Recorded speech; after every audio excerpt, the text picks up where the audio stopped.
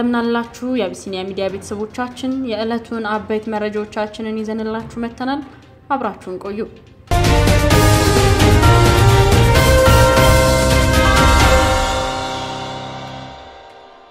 የብሔራዊ መረጃና ደህንነት አገልግሎት ሰፊ የሚባል ሹምሽር በዛሬው ዕለት አካሂዷል። በቅርብ ቀናት ከአማራ ክልል ርዕሰ መስተዳድርነታቸው ተነስተው ወደ ብሔራዊ መረጃና ደህንነት የተዛወሩት አቶ ተመስገን ጥሩነህ በተቋሙ ውስጥ የሚታዩ የተጋላጭነት ቀዳዳዎችን ለመድፈን ይረዳል የተባለ ሰፊ ሹምሽር እንዳደረጉ ተገልጿል።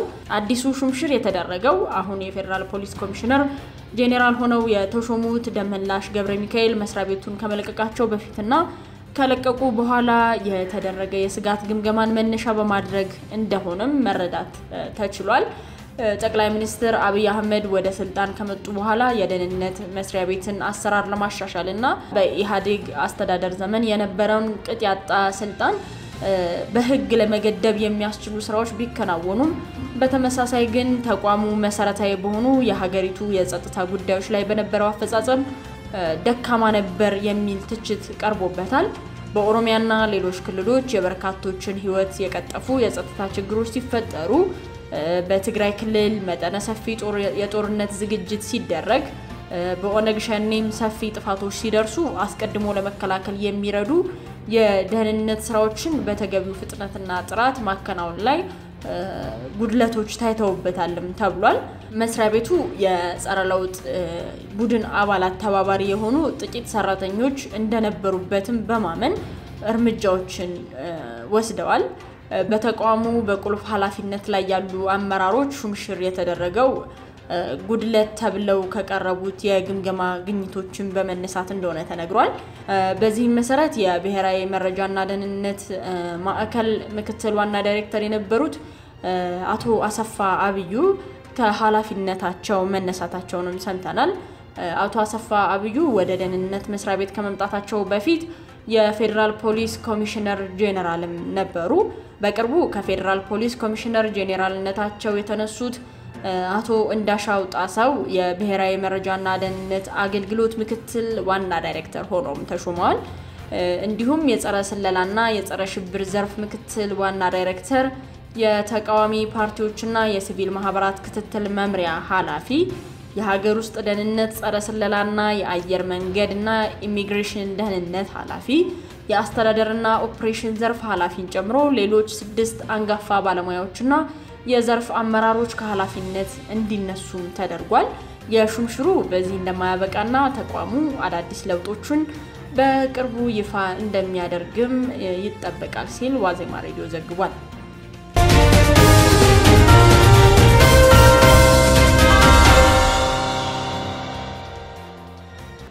በባህር ዳሩ የሮኬት ጥቃት የሶስት ሰዎች ሕይወት አልፏል ተብሏል። በባህር ዳር ከተማ በተፈጸመው የሮኬት ጥቃት የሰው ሕይወት ማለፉ ተገልጿል። እሁድ ዕለት ማለዳ ከህወሓት ጽንፈኛ ቡድን ወደ ባህር ዳር በተተኮሰ የሮኬት ጥቃት የሰው ሕይወት ማለፉን ምንጮች ተናግረዋል። በሮኬት ጥቃቱ ሕይወታቸው ካለፈው ሰዎች መካከል አንዱ መቶ አለቃ አለማየሁ ደጀን ያረጋ የተባሉ የጦር መኮንን ሲሆኑ መቶ አለቃው በኢፌዴሪ አየር ኃይል በምዕራብ አየር ምድብ ቦምብ ጣይ ክንፍ ዶክ ጥገና ክፍል ኃላፊ ናቸውም ተብሏል። የቡሬ አካባቢ ተወላጅ እንደሆኑ የተነገረው መቶ አለቃ አለማየሁ ደጀኔ በኢፌዴሪ አየር ኃይል ከሚያዝያ 27 1997 ጀምሮ ህይወታቸው እስካለፈበት ቅጽበት ድረስ ማገልገላቸው ተነግሯል። የጦር መኮንኑም በምድባቸው በስራ ላይ እንዳሉ ህዳር 13 ቀን ከጠዋቱ 12 ሰዓት አካባቢ በህወሓት ጽንፈኛ ቡድን በተተኮሰው የሮኬት ጥቃት ጉዳት ደርሶባቸው በሕክምና ከቆዩ በኋላ በትላንትናው ዕለት ህዳር 14 ቀን 2013 ዓመተ ምህረት ህይወታቸው ማለፉ ተነግሯል። መንግስት ግን በባህር ዳር የደረሰውን የሮኬት ጥቃት አስመልክቶ ስለደረሰው ጉዳት እስካሁን ያለው ምንም ነገር የለም። በተያያዘም የትህነግ ዘራፊ ቡድን ሲጠቀምበት የነበረ 32 ኩንታል ካናቢስ የተሰኘ አደንዛዥ እጽ በቁጥጥር ስር መዋሉ ተገልጿል። አደንዛዥ እጹ በተሽከርካሪ ተጭኖ ከሁመራ ወደ ተለያዩ አካባቢዎች ሊገባ ሲል መያዙን የአማራ ክልል ልዩ ኃይል ቴዎድሮስ ብርጌድ ዋና አዛዥ ኮማንደር ዘለቀ ምትኩ ተናግረዋል። በዓለም አቀፍ ሕግ የተከለከለውን እጽ የትህነግ ዘራፊ ቡድን እድሜያቸው ለጦርነት ያልደረሱ ህጻናት እንዲጠቀሙት በማድረግ ወደ ጦርነት እያስገባቸው መሆኑን እጃቸውን የሰጡ የትህነግ ልዩ ኃይል አባላት መናገራቸውን ዋና አዛዡ ገልጸዋል። ዘራፊ ቡድኑ ህጻናትን ወደ ጦርነት ማስገባቱ ሳያንስ ዓለም አቀፍ ወንጀል የሆነውን አደንዛዥ እጽ ህጻናትን እንዲጠቀሙ ማድረጉ የወረደ ተግባር ማሳያ ነው ሲሉ ገልጸዋል። ከአደንዛዥ እጹ በተጨማሪ ህገወጡ ትህነግ በአልመዳ ጨርቃጨርቅ ፋብሪካ ያመረታቸው የፌዴራል ፖሊስ፣ የሀገር መከላከያ ሰራዊትና የማረሚያ ቤት ፖሊስ አልባሳት አብሮ በቁጥጥር ስር መዋሉን ኮማንደር ዘለቀ ተናግረዋል።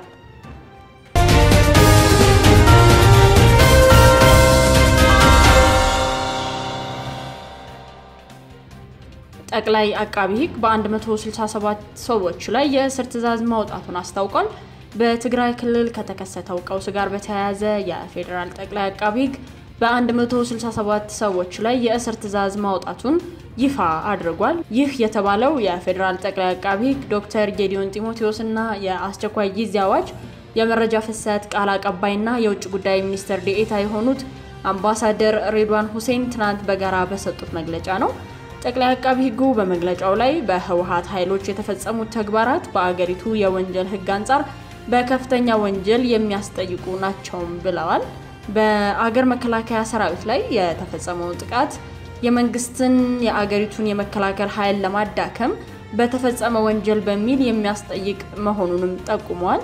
በባህር ዳርና ጎንደር ከተሞች ላይ የተፈጸሙትን የሮኬት ጥቃቶች በተመለከተም ድርጊቱ በሽብር ወንጀል እንደሚያስጠይቅ ጠቅላይ አቃቢ ህጉ ዶክተር ጌዲዮን ጢሞቴዎስ ተናግረዋል።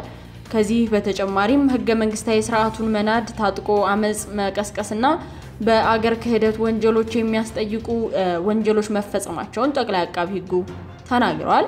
ይህንንም ተከትሎ በበርካታ ተጠርጣሪዎች ላይ የእስር ማዘዣ መውጣቱን አስታውሰዋል። እስካሁን ድረስ በፌዴራል ፖሊስና በፌዴራል አቃቢ ህግ የተለዩ 167 ተጠርጣሪዎች ላይ የእስር ማዘዣ መውጣቱንም ተናግረዋል።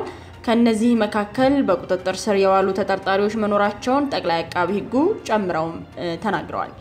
ከዚህ በተጨማሪም ከአገር ውጭ ያሉ ተጠርጣሪዎች ከሚገኙበት አገር ተላልፈው እንዲሰጡ መንግስት መጠየቁን ጠቅሰው ይህ አይነት አሰራር በባህሪው ረዥም ጊዜ የሚወስድ ነው ሲሉም ጠቅላይ አቃቢ ህጉ አክለዋል።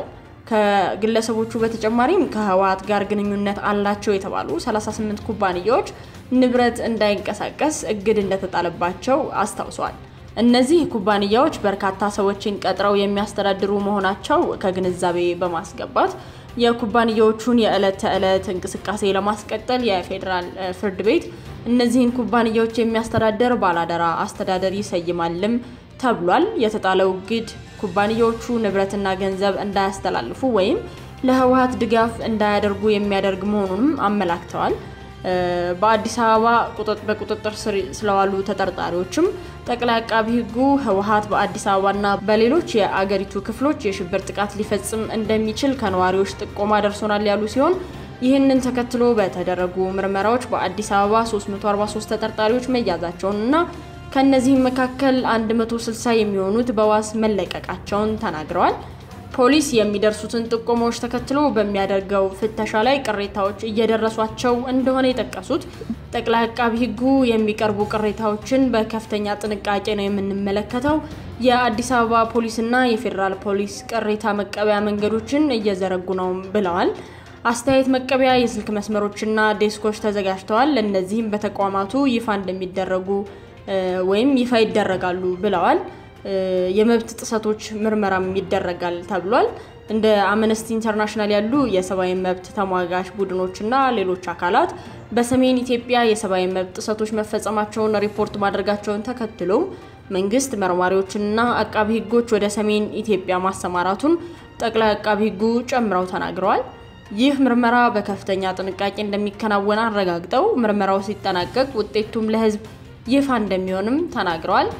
የአስቸኳይ ጊዜ አዋጅ የመረጃ ፍሰት ቃል አቀባይና የውጭ ጉዳይ ሚኒስትር ዴኤታ አምባሳደር ሬድዋን ሁሴን በበኩላቸው በትናንቱ መግለጫ ትልልቅ ከተሞችን ጨምሮ አብዛኛው የትግራይ ክልል መሬት በአገር መከላከያ ሰራዊት ቁጥጥር ስር እንደሚገኝ ተናግረዋል። አክሱም፣ አድዋና አዲግራት ከተሞች ደግሞ በቅርቡ ከህወሀት ነጻ የወጡ ከተሞች ናቸው ያሉት አምባሳደር ሬድዋን የክልሉ መዲና የሆነችውን መቀለን ለመቆጣጠር መከላከያ ሰራዊት ከ50 እስከ 60 ኪሎ ሜትር ርቀት ውስጥ ተከባ እንደምትገኝም ተናግረዋል። አምባሳደሩ ጨምረው እንደተናገሩት የህወሓት ኃይሎች ለቀው ለመውጣት ሲገደዱ በመሰረተ ልማቶች ላይ ጉዳት እያደረሱ እየሸሹ ነው ብለዋል። እንደ ምሳሌም የአክሱም አየር ማረፊያ ላይ ጉዳት እንዲደርስ መደረጉን እንዲሁም ከስድስት ያላነሱ ድልድዮች እንዲፈርሱ መደረጋቸውንና መንገዶች መቆፈራቸውንም ተናግረዋል። አምባሳደር ሬድዋን የመቀለ ከተማ ነዋሪ እውነታውን ተረድተው በሰውና በንብረት ላይ ጉዳት እንዳያደርስ የህወሓት መሪዎችን አሳልፎ መስጠት ይኖርበታልም ብለዋል። የአፍሪካ ህብረት የወቅቱ ሊቀመንበር የሆኑት የደቡብ አፍሪካው ፕሬዝዳንት ሲሪል ራማፎሳ ልዑክ እንደሚልኩም አስታውሰው ጠቅላይ ሚኒስትሩ ይህንን ልዑክ ተቀብለው የሚያነጋግሩት ለአፍሪካ ህብረትና ለአፍሪካ መሪዎች ካለ አክብሮት የመነጨ መሆኑንም ተናግረው ከህወሓት ኃይሎች ጋር ግን እንደ ህጋዊ አካል ቆጥሮ የሚደረግ ውይይት አይኖርም ብለዋል። በፌዴራል መንግስቱና የትግራይ ክልልን በሚመራው ህወሓት መካከል ለወራት የቆየው አለመግባባትና መካሰስ ባለፈው ዓመት ማብቂያ ላይ በትግራይ ክልል በተናጠል የተካሄደውን ምርጫ ተከትሎ መባባሱም ይታወሳል። በጥቅምት ወር ማብቂያ ላይ በትግራይ በሚገኘው የሰሜን እዝ ላይ በክልሉ ኃይሎች ጥቃት መፈጸሙን በመግለጽ ጠቅላይ ሚኒስትር አብይ አህመድ ወታደራዊ እርምጃ እንዲወሰድ ማዘዛቸውን ተከትሎ ፍጥጫው ወደ ግጭት አምርቶ ሶስተኛ ሳምንቱን ሊደፍን ተቃርቧል። ጠቅላይ ሚኒስትር አብይ አህመድ ወደ መቀሌ የአገሪቱ ሰራዊት ከመንቀሳቀሱ በፊት ሊደርስ ይችላል የተባለ ጉዳትን ለማስቀረት የትግራይ ክልል ኃይሎችን የህወሓት አመራሮች እጃቸውን እንዲሰጡ ነገ ረቡዕ የሚያበቃ የ72 ሰዓታት የጊዜ ገደብ ማስቀመጣቸውም ይታወሳል።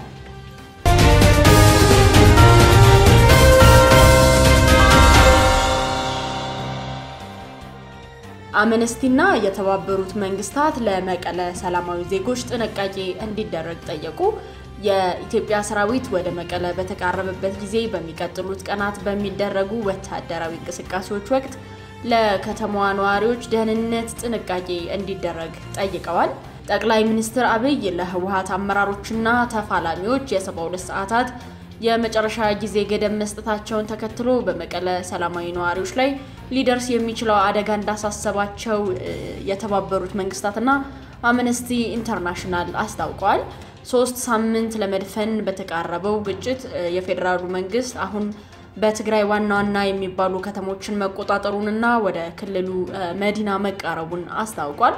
የአስቸኳይ ጊዜ አዋጅ የመረጃ ፍሰት ቃል አቀባይና የውጭ ጉዳይ ሚኒስትር ዲኤታ አምባሳደር ሬድዋን ሁሴንም ትናንት በነበራቸው መግለጫ መቀሌ በመከላከያ ሰራዊት ከ50 እስከ 60 ኪሎ ሜትር ርቀት ውስጥ ተከባ እንደምትገኝ መናገራቸው ይታወሳል። ጠቅላይ ሚኒስትር አብይ አህመድ ለህወሓት መሪዎች በሰጡት የመጨረሻ ማስጠንቀቂያ በንጹሐንና በንብረት ላይ ጉዳት እንዳይደርስ ከዚህ በኋላ ብቸኛው አማራጭ እጅ መስጠት መሆኑን አስገንዝበውም ነበረ።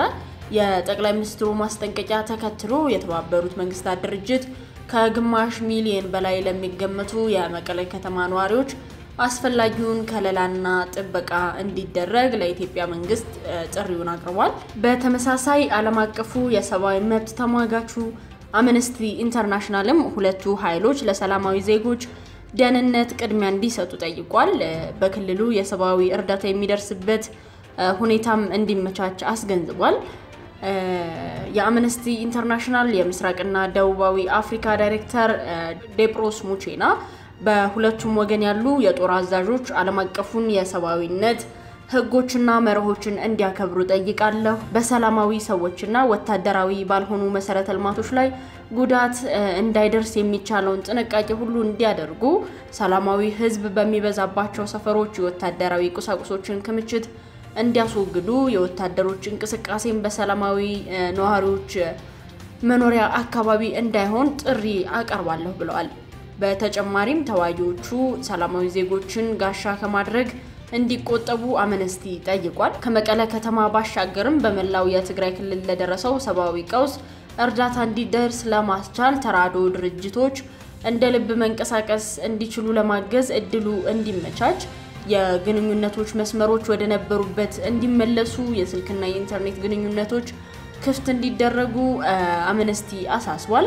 አስተማማኝ መረጃ ማግኘት አስቸጋሪ በሆነበት በትግራይ እየተካሄደ ባለው ግጭት በሺዎች የሚቆጠሩ ሰዎች ሕይወታቸውን ሳያጡ እንደማይቀር የእርዳታ ድርጅቶችም ይገምታሉ። በተጨማሪም ከ30 ሺህ በላይ የሚሆኑ ነዋሪዎችም ግጭቱን በመሸሽ ወደ ጎረቤት አገር ሱዳን እየተሰደዱ እንዳለም እየተነገረ ነው።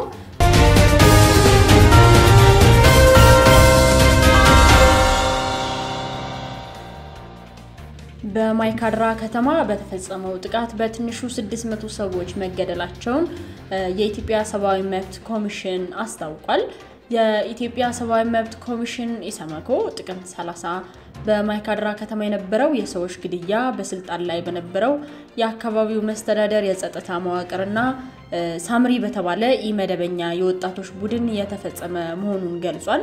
በጥቃቱ በትንሹ 600 ሰዎች መገደላቸውን የገለጸው ኮሚሽኑ ትክክለኛው ቁጥር ከዚህ ሊበልጥ ይችላልም ብሏል። ኢሰመኮ ይህንን ያለው የማይካድራውን ግድያ ጨምሮ በአብርሃ ጅራ፣ በሳንጃ፣ በዳንሻ፣ በሁመራ እና በጎንደር ከተማ ተዘዋውሮ ባደረገው ምርመራ የደረሰበትን ግኝት በተመለከተ ዛሬ ማክሰኞ ህዳር 15 ይፋ ባደረገው ሪፖርቱ ነው። የሰብአዊ መብት ተሟጋች ተቋሙ በማይካድራ ከተማ የተፈጸመውን ጥቃት፣ ግድያ፣ ጉዳትና ውድመት ግፍና ጭካኔ የተሞላበት በሲቪል ሰዎች ላይ የተፈጸመ የጭፍጨፋ ወንጀል ሲልም ጠርቶታል።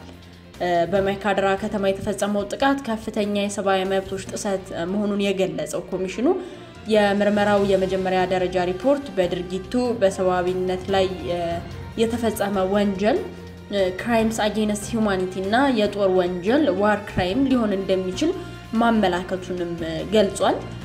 ኮሚሽኑ ዝርዝር ማስረጃዎችንና ወንጀሎችን የሚያቋቁሙትን የሕግና የፍሬ ነገር ትንተና ዝርዝሩን በሙሉ ሪፖርቱ አጣርቶ የሚያቀርብ መሆኑንም አስታውቋል። የኢሰመኮ ሪፖርት በከተማይቱ ለተፈጸመው ግድያና ውድመት ተጠያቂ ያደረገው የአካባቢውን የሚሊሻና የፖሊስ ጸጥታ መዋቅር እንዲሁም ሳምሪ በመባል የሚታወቀውን ኢመደበኛ የትግራይ ወጣቶች ስብስብን ነው።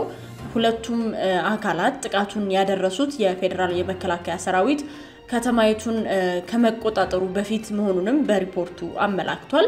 በትግራይ ክልል መንግስትና በፌዴራል መንግስት መካከል ጥቅምት 25 ቀን 2013 ውጊያ መጀመሩን ተከትሎ በማይካድራ ከተማ በሚኖሩ የትግራይ ተወላጅ ባልሆኑ ሰዎች ላይ ከባድ ስጋትና ተጽዕኖ ተከስቶ እንደነበረ የኮሚሽኑ ሪፖርት አመላክቷል። ስጋቱ በተለይ የጸናው በአማራና በወልቃይት ተወላጆች ላይ መሆኑንም ጠቅሷል። የመከላከያ ሰራዊት ወደ ማይካድራ ለመግባት መቃረቡ ሲሰማ ከማይካድራ የሚያስወጡ ሁሉም ኬላዎች መዘጋታቸውን ሪፖርቱ ያስረዳል። የትግራይ ክልል ልዩ ኃይል እንዳያጠቃቸው በመስጋት ሽሽት የገቡ ነዋሪዎችም በከተማው አራት ዋና ዋና መውጫዎች በተቋቋሙ ኬላዎች ላይ በተሰማሩ ሚሊሻዎች እና በሳምሪ የወጣቶች ቡድን ተመልሰው ወደ ቤታቸው እንዲገቡ መገደዳቸውም ተገልጿል። ጥቃቱ ከመጀመሩ በፊትም የከተማው ፖሊሶች የትግራይ ተወላጁ የሆኑና ያልሆኑ ሰዎችን ለመለየት መታወቂያ ካርድ እየተመለከቱ የነዋሪዎችን ማንነት ያጣሩ እንደነበርም አብራርቷል።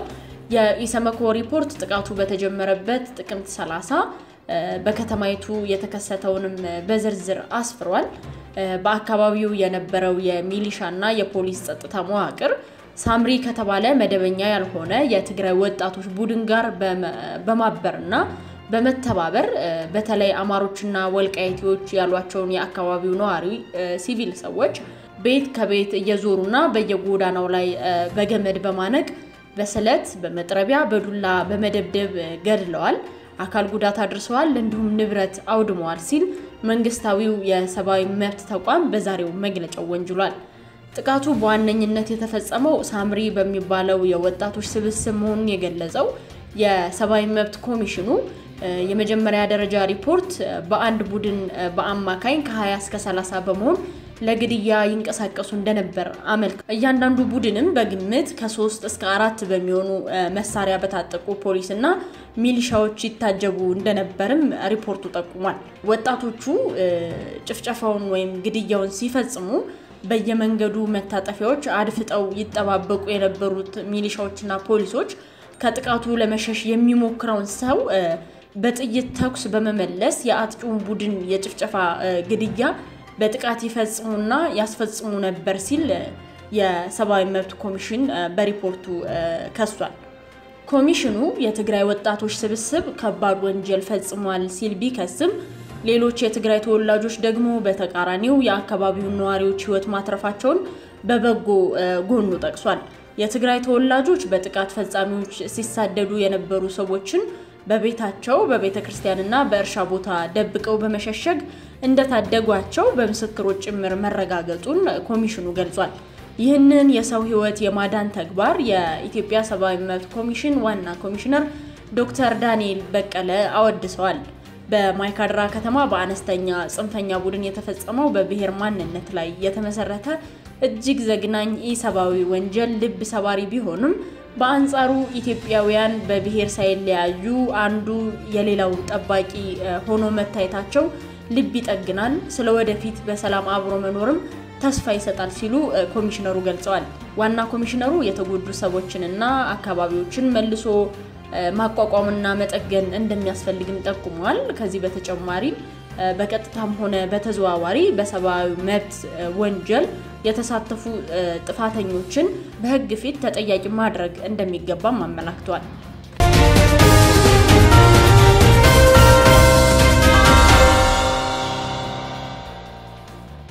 የአቢሲኒያ ሚዲያ ቤተሰቦቻችን የዕለቱ አብይ መረጃዎቻችን እነዚህን ይመስሉ ነበር።